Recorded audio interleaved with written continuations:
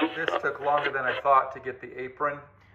So I'm gonna have a second part where we connect it to the saddle and then get it mounted onto the lathe.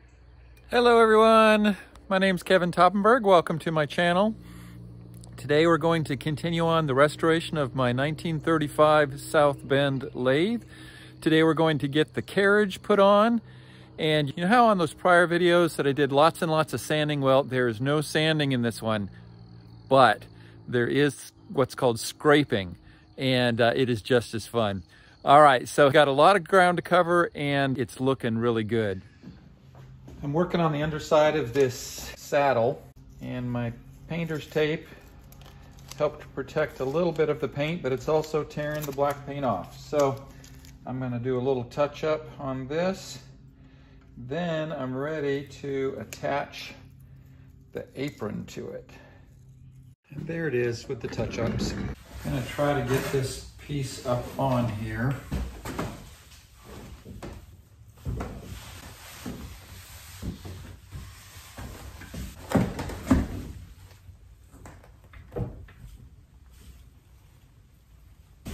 Got at least one screw in, if I can get it to take. These old nuts are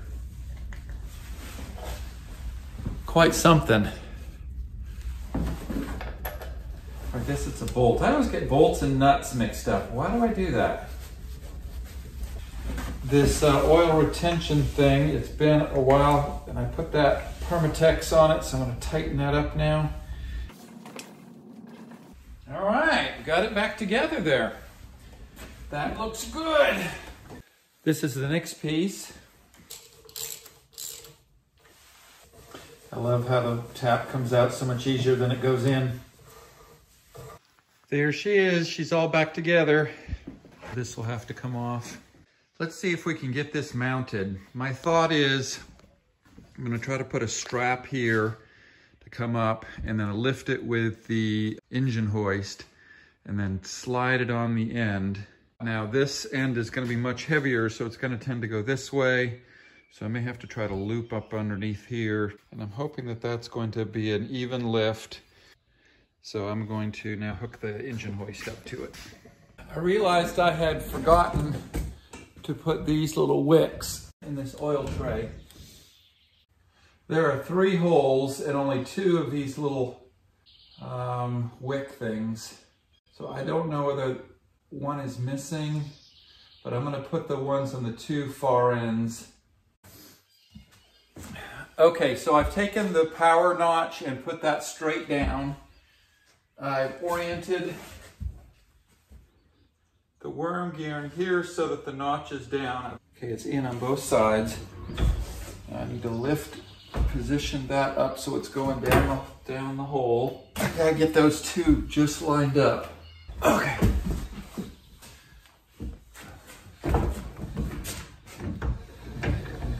There we go. Our next part is the gib. Right here, there's wiggle. And that's what this is for. You, you slide this underneath and then there's some bolts that will push up and you can get it so that it's just tight enough that it doesn't wiggle, but not so tight that it doesn't move. Now, I'm looking here and there's a hole right down in the base of here and there's a one here. And I'm thinking that that may be an oil access an oil the top surface of here against the bottom. I'm gonna put in, um, have some irregularity to hold some oil here. I've got a whetstone here, but I'm mostly using it where I've mounted uh, a diamond wheel.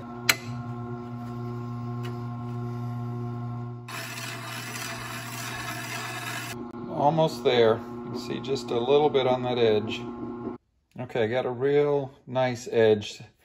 It's this edge on that's facing me. Even though it's beveled up and you would think that you're gonna go into the sharp edge, you actually cut with the, this edge right here. So it needs to have a very defined angle. I think that's gonna be nice and sharp. I got my power scraper here. Doesn't that surface look nice? That blue uh, Billy down at Knox Makers put that in his heat treat oven and got that uh, surface. It was uh, rusting before, so I did that to, uh, to give it some protection. I think it looks really nice. I did a bunch of scraping with this power scraper before. I did it in the past, but it's it, to come into play in the future as far as when I show it.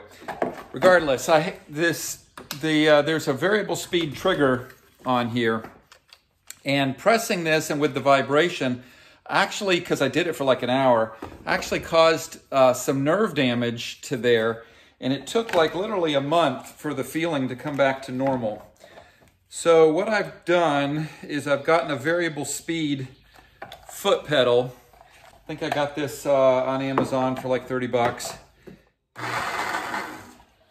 You know what? Uh, I thought I was getting a variable speed pedal, and I think that's just an on and off pedal. Well, that's disappointing. All right, I'm going to um, use the variable speed on the on the trigger.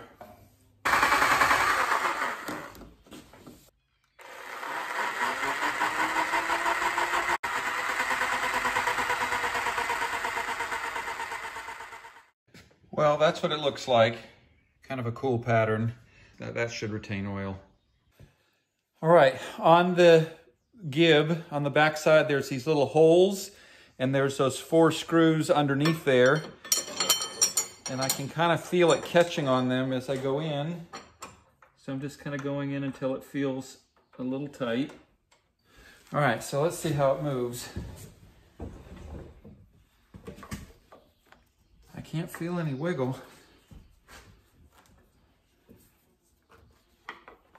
I think that's good. All right, I'm gonna tighten up those jam nuts. 11 sixteenths.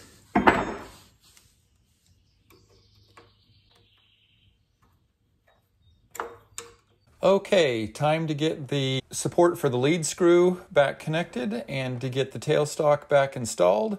Time to see it in action. So I've got the clutch released. Nothing's happening. The power selector is in, which means that the power is going to go to this, which will then go to the rack. So as soon as I start engaging that, the uh, carriage starts moving. Sweet. Now, if I disconnect the clutch and pull this out, now when I look in here, and this is going to be what powers the cross slide. Now when I put the carriage in, I can see that gear moving. I, I can't really show you, but it's, it's turning around in there. And then the last thing would be, if we have that clutch disconnected, then I can engage the half nut and then it starts to move. A little fiddly for sure.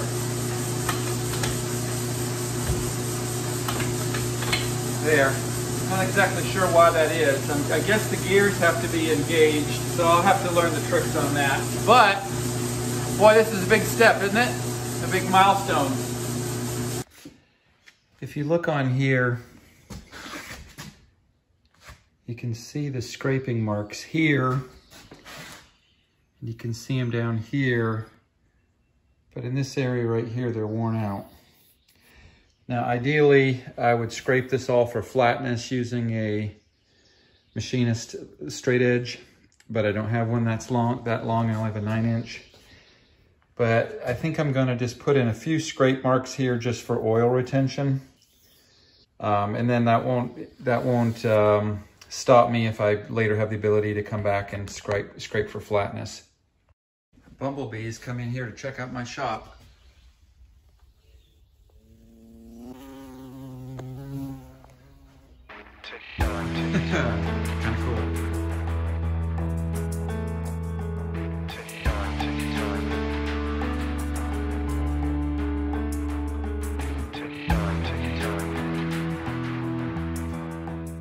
Think it at least looks better. I think it'll retain oil better. After thinking about it, I think I'm gonna do the same on these and on these bearing surfaces.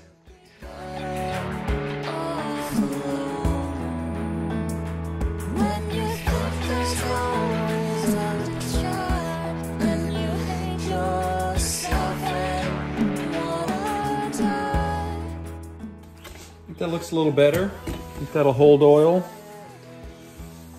And it's probably reasonably flat enough. I'll just say that to make myself happy.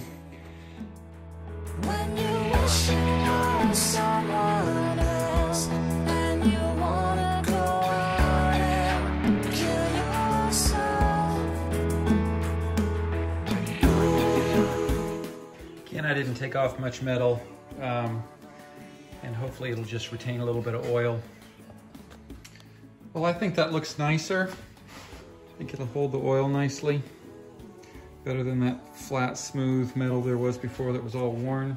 I have some way oil on there now and it moves nicely. Probably should have done all that before I put the bed on, but uh, it worked fine here. And I thought that I was just gonna leave it, but when I put it all on, it just like, just didn't look quite right. So I think it looks better.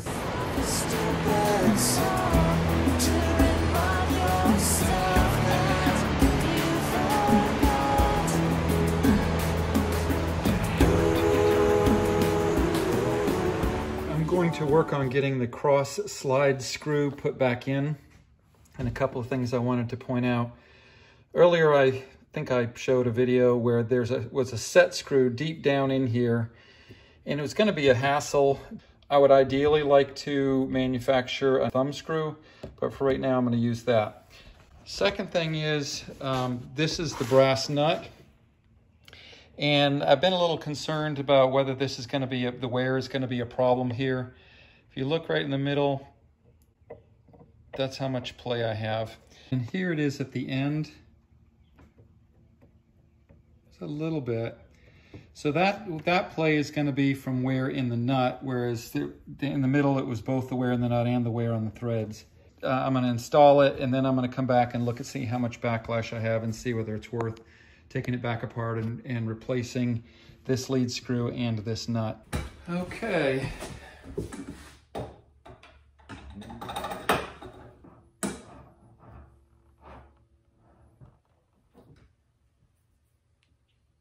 I think maybe it wasn't meshing with the gears. I got it meshed now, so it's going in easily. Okay. fine little screw here, which I'm pretty sure is an oil access port.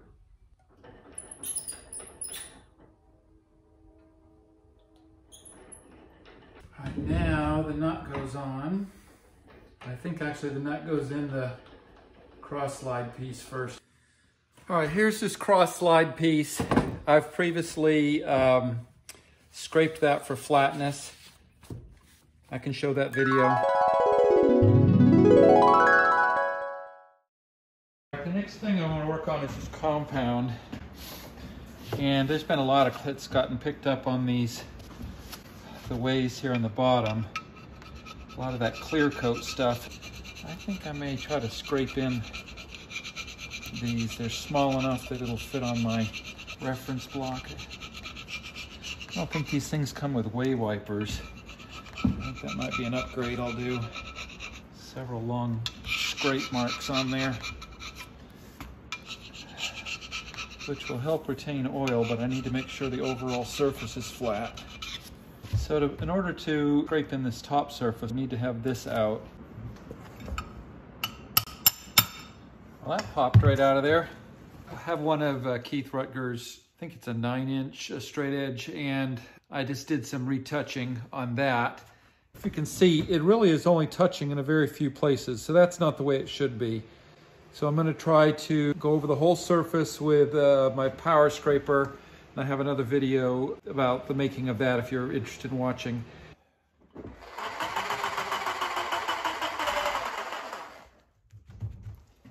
Let's try this again.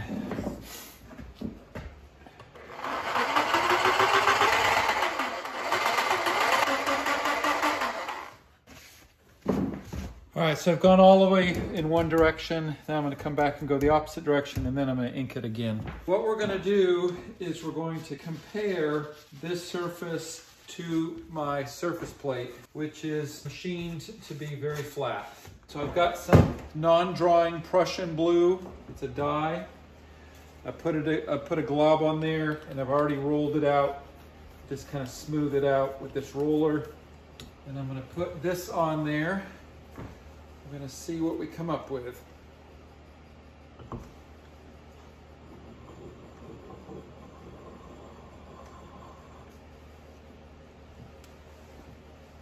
So these are our high spots. So those high spots are, are supporting it so much that it doesn't touch any of the other areas. So we need to take down those places that picked up the ink until we start getting it touching everywhere. So I've now uh, scraped off those blue spots and I'm going to ink it again. I'm trying to do my best to not let any of that metal shavings from that scraper get on here. And I've used my stone to take off any high spots. So it's better. And we'll just keep working on that until we start getting a good surface all over.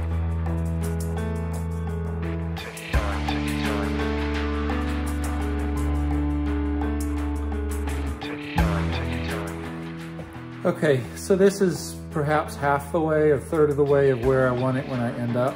We made some good progress.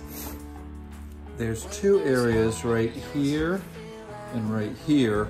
And I think that that's when it's on the thing and it's at a 45 degree angle or something, then that's right where it rides. So I'm very close to getting that to pick up dye. So I'm gonna take it down another time or two and I'm gonna see if I can get it to pick up in that area. That last print is a little thicker and I think it picks up a little bit more. But if you look here, it's picking up uh, pigment all on this side still. Uh, so that, I think we're down good on that one. Still just a tiny little bit of a groove there. So I'm gonna go over all of it again, except for these this groove area one more time.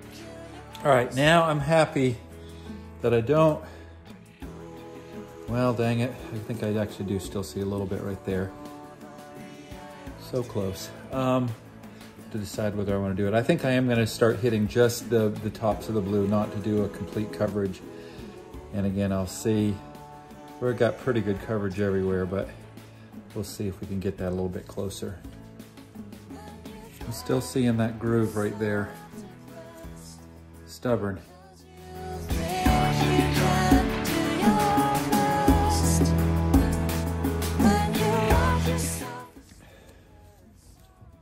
Still there.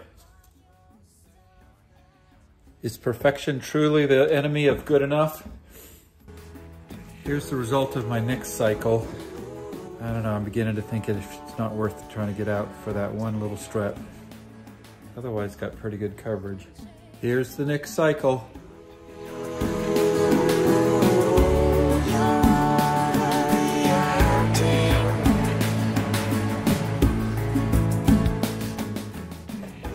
Getting frustrated that I wasn't getting anything off with pass after pass, so I went against my better judgment and used a sander, but I don't think it was too big a mistake. After many cycles, I'm feeling pretty good about this. You see I've got coverage all in here. Part of it has to do, I think, also in how hard I push and how much ink there is on the stone. I'm pretty satisfied that that's a good flat surface. I'm gonna scrape in this surface now, and I started scraping it, and I found there was a pretty big hole right in this area because there's really no point in me trying to, to break up and work at all these individual areas when the whole thing is, is not relatively level. So I have a, a belt sander got a machine's surface underneath there, so that should be flat. And I'm pressing up against there. Even with that, can still see the substantial hole here. Assuming that as it was at, at an angle, that's kind of right where it was worn. I'd like to try to see if I can get that out. I hope I'm not screwing things up with this.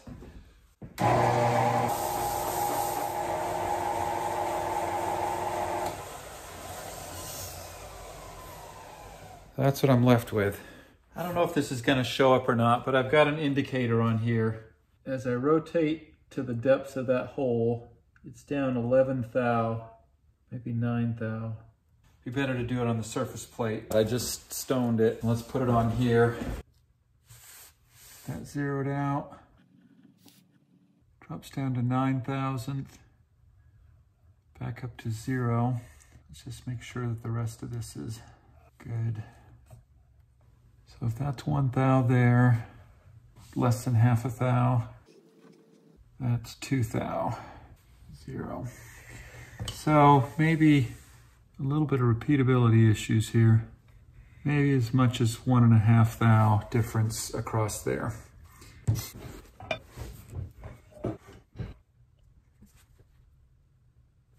zero. Started at zero, two thou down. This is two thousandths lower than this, assuming that the bottom is flat.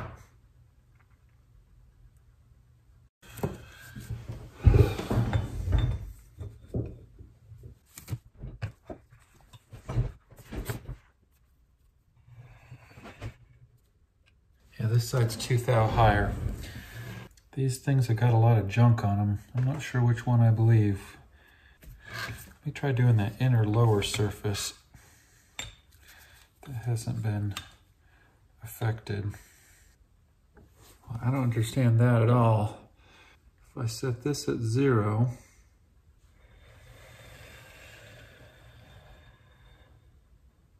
it's up 11 thou. Whereas this not varying by 11 thou. So this plane and this plane are not parallel. So I can't use that inner surface. All right, I'm gonna think about this. I'm probably doing this backwards. I probably should have got these planed in first and then used that to judge this other plane. And I still have that big hole there. I went and just lightly sanded the bottom side of those ways just to make sure it didn't have some sort of burr, even though I had stoned them. And now I'm within like a thou. So there I'm starting at zero. There I'm plus a thou. There's like a quarter of a thou. And there's right on a thou. So I seem to improve that situation anyway. I'm trying to figure out what caused that excess wear in that spot. Let's look here. If that's there like that, when I lift up, it would be this spot, I guess, right here, unless somehow they've got some debris that got in there. I don't know. All right, well, that's all for tonight. It's after 10.30. Time for me to be in bed.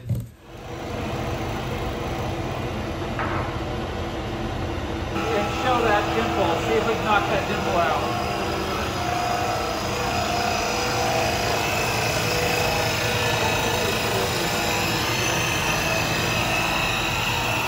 I think we got it.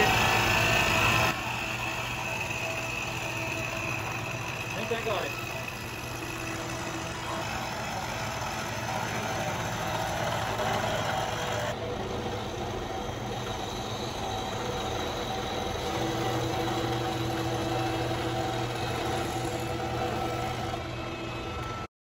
I'm gonna get set up to scrape in the top of this that I previously milled. Uh, it should be flat, but I wanna check it. Uh, it'll take out some of these uh, machining lines. This is my first printing after milling it, so not even at all. Lots here, here, here, and here. So I'll go over and uh, start scraping this down. So here it is. I took off all the blue. Still see some of these lines. Still getting a very uneven pattern.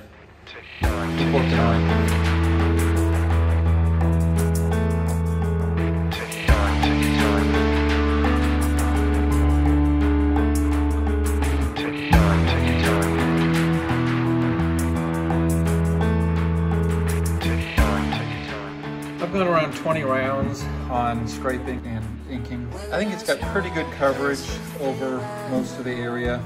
Still a little bit heavy in here. If this is gonna be a high motion surface, I think there might be some value in breaking up these areas to have, you know, better oil retention. Since it's just a compound and I mostly was wanting to make sure it was flat, I think I'm gonna stop there. You can still kind of see those lines where the machining uh, pass was on the cutter from the mill. I don't feel that's worth pursuing any further. All right, now flipping over to the other side, this surface just looks terrible. You can see where it's gotten a lot of galling from chips. Um, I had thought about milling this down, but in order to take that down, I was gonna have to take this surface down. I, I think I'm just gonna get myself into more trouble. But I think I will at least try to knock out these high spots and see if I can get even coverage. Working some more on the scraping of this. I've got a pretty good coverage except for this hole down over here where it's worn. I still haven't picked up any.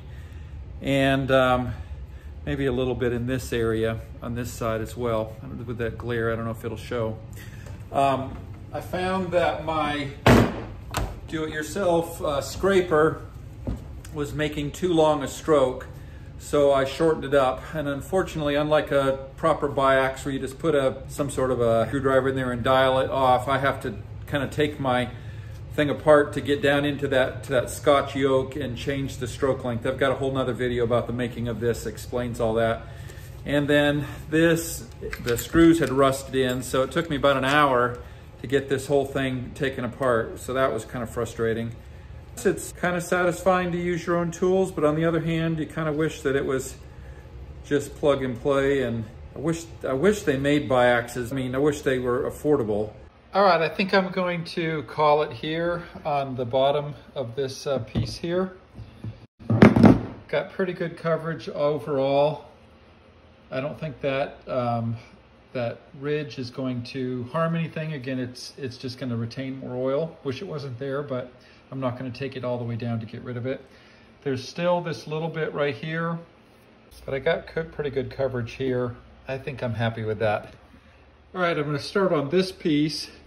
I already ran ink once, and my goodness, it only touches there, there, a little bit there, and there.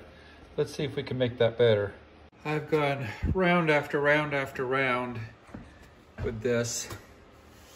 That shows that it's um, picking up for most of it.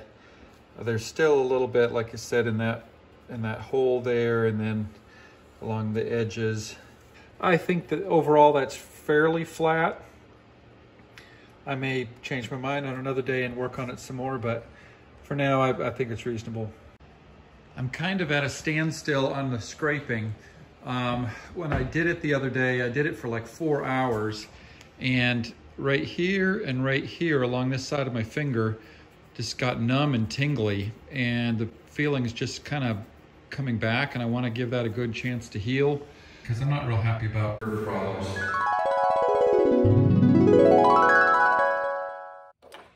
I cleaned up the nut. Um, this is kind of cool. So there's the nut that holds it in and it's got a, a oil access point in the middle with the set screw. So that's kind of neat. And then that will go down in here and then it lets oil go down. Now that was all plugged up in, in grease and gunk and I got that all cleaned out. This had been cammed out quite a bit and I cleaned that up. Okay, then this will go on the cross slide and then we'll put the gib in.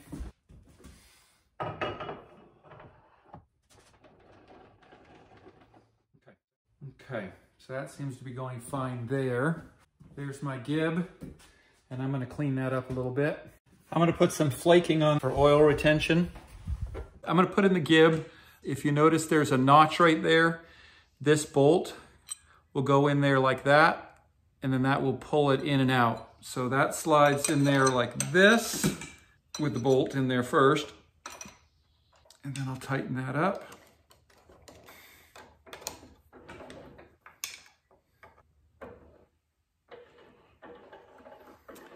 And it's got three quarters of a rotation of slop. That's gonna be too much. I'm gonna have to come back and fix that.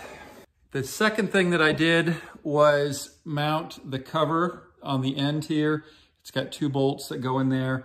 That's just a cover that keeps chips from falling down in on top of that lead screw that goes across there.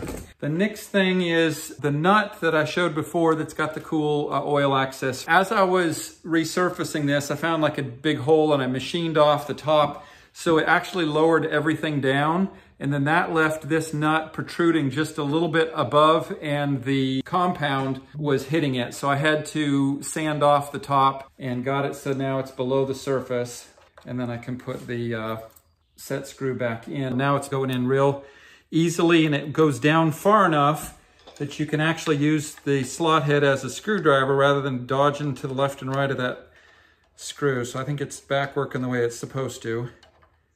And it's below the surface there.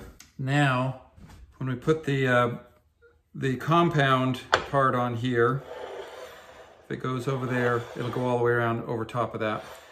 Need to get my bolts and get that fastened. Let's clean these up like that. Okay, so these bolts go in there, out the little channel and around. So usually you set the compound to a certain degree and then fix it. 11 sixteenths. That is an odd size in my mind. Well, I don't like that laxity. I don't like that at all. That's that nut and that lead screw. All right, I'm going to um, put a little bit of oil in here and here, and then I think I'm gonna call that a day. Oh, I like how nicely that comes out. Love it when it's clean. The threads are not bunged up. All right, that should be good and oiled. A little worried I made that too loose, like it's just gonna vibrate down. I guess if it does, I can put a double one in and jam it. Here's our next part to go on. My wife and I were exploring on some old back roads and came across this cool old abandoned railway depot building in limestone. It's pretty cool. So I've been struggling trying to get the top of the compound onto the, the base. Um, it just doesn't seem to fit up in there. So I'm gonna kind of walk through how I, I think I've got it. I, I haven't completely put the whole thing together, but I think it's gonna work. Okay, so this piece has to go over the cross slide, over the thing here. It, it's just barely, uh, the dovetail just barely such that it won't come off. I, but I can't do that when I have the nut in place. There's something in there that's hitting that won't let it come down over there like that. So I think what I've found to do, I'm sure there's probably some easier way to do this. Once I get that on there a little bit, then that lead screw will stabilize that nut. Then slide this end on here like this, turn it up on its side, get it roughly lined up. Yep, there it's caught and then put that in. So that seems a little awkward. Now there's a screw right here on the top. That should line up as an oil hole. Take it as far forward as it'll go. Then start threading this in. Actually, I don't know that I needed to take it all the way back out. It just seems like I need to every couple threads I advance this one, I need to back that one out a little bit. There's a little zero there, so I'm guessing I need to put that so the zero's on the top. All right, now I need to get the gib in. It's a little bit like a Chinese puzzle. Okay, there we got that. It's rattling around because it doesn't have a gib. I did not do any scraping or anything on this because this has very little motion and I doubt that there's very much wear on it. So like before, we slide the gib in, easier said than done.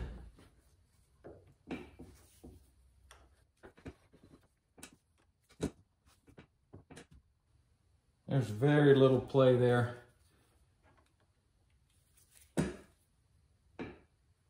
Yeah, I think that's a perfect amount.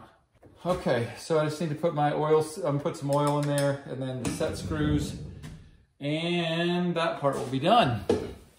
I need to make way wipers. That's a piece of felt that will go on here so that if there's any grit or something, it won't get pulled underneath there and then become grinding powder. So I think they sell these on eBay, but you gotta buy it as part of a set. And I think I can make my own. Well, my first try at the way covers came out perfect. I really didn't expect that. The way I did it is I took, I actually took this little receipt paper, held it up on there and kind of uh, ran a pencil over it to kind of get the outlines. That was this. I then brought that into my computer software, uh, traced around it, made a vector file, brought that into OpenSCAD, um, and printed it.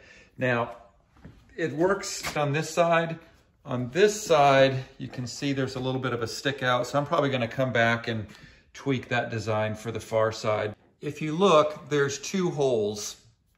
The bottom hole was the primary hole and it was all full of gunk and I was putting in an 832 tap and because it's so close to here, I couldn't use a tap handle. So I was carefully trying to turn it with a wrench and I it was not hard, it was just in dirt, but my hand slipped and it turned it at just a little angle and I broke off a tap in there, which just frustrated me. So I looked and there was this indentation here, but it was there wasn't a hole there. And I started looking at it and I took a pick and it seemed like it was picking out. So then I just took a, a, a small drill and went in it and it looked like someone had drilled these holes and tapped it. And then they decided that wasn't right and they filled it what felt like lead. It was a really soft metal, lead or solder or something. So I just went ahead and uh, took all that lead out and, and ran the tap in. Again, I, I, it was the threads were already there. And so I'm having to use the top holes on all of these rather than that just because of that one broken tap. I hate breaking taps. This is my rocker style tool post and I did not have a piece like this. So I made some measurements and also some trial and error and I found that the radius is either 11 or it's 12 inches.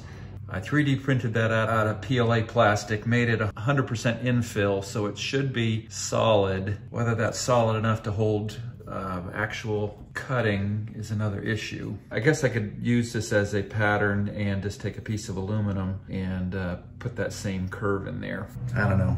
Uh, I really want to get a quick change tool post. I got these way covers 3D printed. I have ordered some felts to go behind that. I put some touch-up paint on this area and I want to give that a good amount of time before I put the clear coat on. So folks, I'm gonna call this part finished. Woo! Um, we are so close to making chips on this thing, I can taste it. Uh, a couple more things I still need to do. I need to do some research to find out what grade of oil goes in here and get that filled up. And I need to clean up the three jaw chuck and the four jaw chuck. I actually am probably gonna make a separate video about that. I'm in the process of making a threading dial. I might make an extra um, video about that. Then I need to come back and do all the uh, fit and finish and, and balancing. Oh, another key thing that I really need to do is I need to get some feet in here um, and then get this up on feet so that I can then balance and take any twist out of the out of the bed. All right, everyone, thanks for watching. Isn't she looking good? Boy, she's come a long ways. Do you remember what she looked like at the beginning? Whew. If you enjoyed this video, please give it a thumbs up. It helps me a lot. And uh, love to have comments. Just drop me a line I'll try to get back to everyone. Uh, thanks again for watching. Stick around and subscribe so you'll know when the next one comes out. Peace out.